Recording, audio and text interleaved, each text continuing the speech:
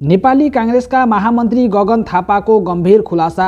गगन थापा भन्छन् देशमा फेरि पनि एउटा ठुलो भ्रष्टाचारको काण्ड आउनेवाला छ। आखिर के होला त त्यो भ्रष्टाचारको काण्ड? यस सम्बन्धी सम्पूर्ण जानकारी पाउनका लागि कृपया भिडियो अन्तिमसम्म हेरिदिनुहोला। आदरणीय दर्शक महानुभाव नमस्कार। जियास अनलाइन टिभीको नयाँ भिडियोमा यहाँहरूलाई हार्दिक स्वागत छ। नेपाली काङ्ग्रेसका महामन्त्री तथा प्रभावशाली नेता गगन थापाले सामाजिक सञ्जाल मार्फत देशमा ठुलो भ्रष्टाचारको काण्ड आउन सक्ने अनुमान गरेका छन्। सामाजिक सञ्जाल फेसबुकमा एक भिडियो जारी गर्दै गगन थापाले यस्तो बताएका हुन्। भिडियो जारी गर्नुभन्दा अगाडि गगन थापाले सामाजिक सञ्जाल फेसबुकमा लेखेका छन् सरकारले उपयुक्त अध्ययन बिना दीर्घकालीन महत्त्वका निर्णय लिनु भनेको पनि कुशासन हो। यस्तै भएको छ नयाँ स्टक एक्सचेन्जको अनुमति दिने प्रक्रियामा। कुनै बेला सरकार आफैले रोकेको स्टक एक्सचेन्जको अनुमति बाँड्ने निर्णय पुनः अर्को अध्ययन नगरी अगाडि बढाउन लागेको खबरहरू आएका छन्। पुँजी बजारको अवस्था र आवश्यकताबारे थप अध्ययन भएर आवश्यकता पहिचान नभएसम्म यो अनुमति दिने प्रक्रिया रोकिनुपर्छ। सरकारले कुरा सुशासनको गर्ने काम कुशासनको गर्न मिल्दैन। हामीले यो कुरा प्रधानमन्त्रीज्यूलाई भेटेर नै भनेका छौँ र सार्वजनिक रूपमा पनि खबरदारी गराउन चाहन्छौँ भन्दै नेपाली काङ्ग्रेसका महामन्त्री गगन थापाले एक भिडियो सन्देश जारी गरेका छन्। यो हेर्नुहोस् गगन थापाको भिडियो सन्देश। एकपछि अर्को काण्ड हामी बिहोर्दै आएका छौँ। फेरि अर्को एउटा नयाँ काण्ड आउला कि भनेर? मलाई चाहिँ डर लागिरहेको छ। के सुन्नमा आएको छ भने यो धितोपत्र सञ्चालनको लागि नयाँ सङ्गठित संस्थाको लागि स्वीकृति दिने लाइसेन्स दिने निर्णय गर्ने ठाउँमा सरकार पुग्यो भन्ने त्यो खालको हल्लाहरू सुनियो। नेपाल सरकार आफैले निर्णय गर्यो कि एउटा अध्ययन नगरिकन यसको आवश्यकता किन छ भन्ने कुरा पुष्टि नभइकन यो लाइसेन्स दिनु हुँदैन भनेर मन्त्री परिषदबाट आफै निर्णय गर्यो। त्यो बेलामा संसदको समितिले पनि त्यही निर्णय गर्यो। र केही समय अगाडि संसदको एउटा समितिले दिएको निर्देशनलाई टेकेर वा बाहना बनाएर अहिले सरकारले यो लाइसेन्स दिने तयारी गर्दैछ भन्ने कुरा सुनियो। यस्तो हो भने त सरकारले पहिला के कुरा भन्नु पऱ्यो भने अध्ययन नगरिकन यो दिनु हुँदैन अहिले रोक्नुपर्छ भनेर भनेको कुरा यो अध्ययन कसले गर्यो कहिले गर्यो त्यो अध्ययनले के भन्यो त्यो अध्ययन भएकै छैन। अनि कोही व्यक्तिहरूसँग कोठामा मिलाएर कसैको इच्छापूर्ति गर्नको लागि यो कुनै न कुनै तरिकाले चाहिँ यो अपवित्र साँठगाँठबाट कसैलाई फाइदा हुने गरिकन यो खालको निर्णय हुन्छ भने यो निर्णय भएपछि प्रतिरोध हुन्छ हुन्छ। त्यसैले के हुन्छ भने यो अगाडिको जस्तै काण्ड हुन्छ काण्डको प्रतिरोध हुन्छ र यसले सरकारलाई थप बदनाम बनाउँछ। त्यसैले अब हाम्रो काम सरकारलाई बेलामा सचेत गराउने हो। यो कुरा भेट्दाखेरि पनि प्रधानमन्त्रीलाई हामीले भनेका छौँ सार्वजनिक रूपमा पनि भनिरहेका छौँ। यस्तो खालको अप्ठ्यारोहरू निम्त्याउने काम नगर्नुहोस्।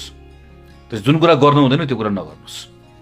अहिले यो सरकारले पहिला अध्ययन गर्नुहोस् आवश्यक छ भने त्यो आवश्यकताको पुष्टि गर्नुहोस्।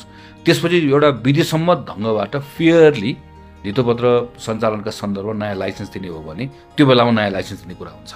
तर अहिले लाइसेन्स दिने कुराले नयाँ काण्ड ननिम्त्याउनुहोस् भन्ने अब हामीले सचेत गराउने हो।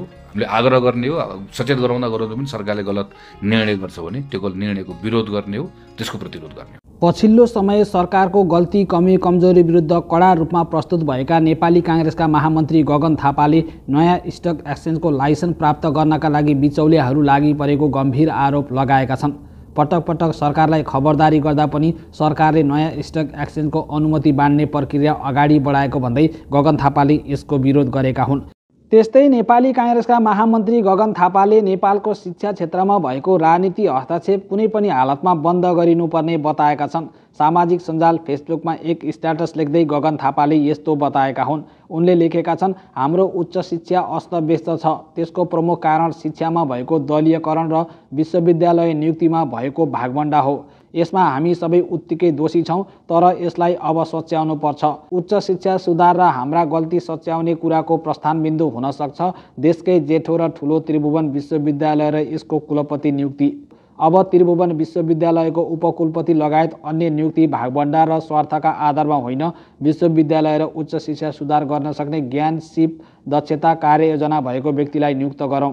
यो कुरा मैले प्रधानमन्त्रीलाई पनि भेटेर भनेको छु। हामीले अब पनि यसो गरेनौँ भने धेरै ढिला हुनेछ।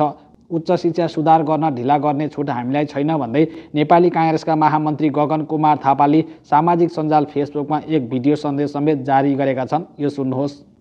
हाम्रो उच्च शिक्षाको हाल बेहाल छ। अझ पछिल्लो केही वर्षहरूमा यसको अस्तव्यस्तता झन् बढेको छ। यो कुरा हामी सबैलाई पनि थाहा छ। प्रधानमन्त्रीले पनि यो कुरा पटक पटक भनिराख्नु भएको छ र म सुधार गर्छु पनि भन्नुभएको छ। हामी अहिले संसदमा विद्यालय शिक्षाको विधेयकमा छलफल गरिरहेका छौँ र अहिले हामी उच्च शिक्षाको विधेयक गरिरहेका छौँ। उच्च शिक्षाको कानुन आइसकेपछि धेरै कुराहरू यसमा सुधार गर्न सकिन्छ भनेर। कानुन आएपछि गर्ने कुरा आफ्नो ठाउँमा छ त्यसलाई गरौँला पनि। तर कहिलेकाहीँ सानसानो कुराहरूबाट पनि सुधार गर्न सकिन्छ।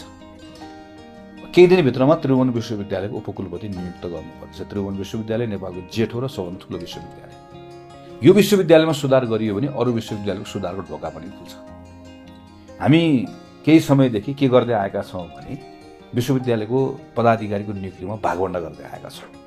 अहिले नेपाली कङ्ग्रेस माओवादी केन्द्र समाजवादी लगायतको पार्टीहरू हामी सरकारमा छौँ। यतिका अवस्थामा के हुन्छ यो भने भागवण्डा हुन्छ। भिसी फलानु पार्टीको रजिस्ट्रार फलानु पार्टीको। अहिले हामीले प्रधानमन्त्रीलाई भनेको सुरुवात गर्ने साँच्चैकै तपाईँको अठोट हो भने यहीँबाट सुरुवात गरौँ। पार्टीको सभापतिले पनि त्यही कुरा भनेका छौँ। यो पटक त्रिभुवन विश्वविद्यालयको उपकुलपतिमा रजिस्ट्रारमा पदाधिकारीमा भागवण्डा गर्दै नगरौँ। र उपकुलपतिको नियुक्ति गर्ने कुरा सर्वोत्कृष्ट व्यक्तिलाई नियुक्त गर्छु सबले स्वीकार्ने व्यक्तिलाई नियुक्त गर्छु दलीय आधारमा नगरिकन नियुक्त गर्छु भनेर भन्नको लागि अहिलेकै कानुनले पनि ठाउँ दिएको छ। बगैदासँग चाहिँ नेपालभित्र रहेको नेपाल बाहिर रहनु भएको यो हाम्रो विश्वविद्यालयलाई यो अहिलेको अप्ठ्यारोबाट बाहिर निकाल्न सक्ने लिड गर्न सक्ने व्यक्ति छान्नको लागि कसैले कहीँबाट पनि रोक्दैन। म कसैलाई दोष दिन्न हिजो हामीले हामी सबैले गल्ती गरेका छौँ। म नेपाली कङ्ग्रेसको एउटा यो पार्टीको सदस्य भएर सांसद भएर मैले पनि यसको जिम्मेवारी लिनुपर्छ। हिजो हामीले गल्तीहरू गऱ्यौँ। त्यो गल्ती सच्याउने एउटा मौका आएको छ। अहिले प्रधानमन्त्रीले हामी यो कुरा भनिरहेका छौँ। हामी पूर्ण रूपमा साथ दिन तयार छौँ। हामी साथ दिन्छौँ। हामी वातावरण बनाउँछौँ। यो पटक भागवण्ड नगर्नुहोस् यो पटक काङ्ग्रेस र माओवादीको बिचमा माओवादी र समाजवादीका बिचमा त्रिभुवन विश्वविद्यालयको पदाधिकारीमा भागवण्डा नहोस्। र यो भागवण्डा नगरेर उपयुक्त व्यक्तिलाई उपयुक्त ठाउँ दिएर नै ल विश्वविद्यालय शिक्षाको सुधारको सुरुवात मैले गरेँ भनेर प्रधानमन्त्रीले भन्ने ठाउँ छ।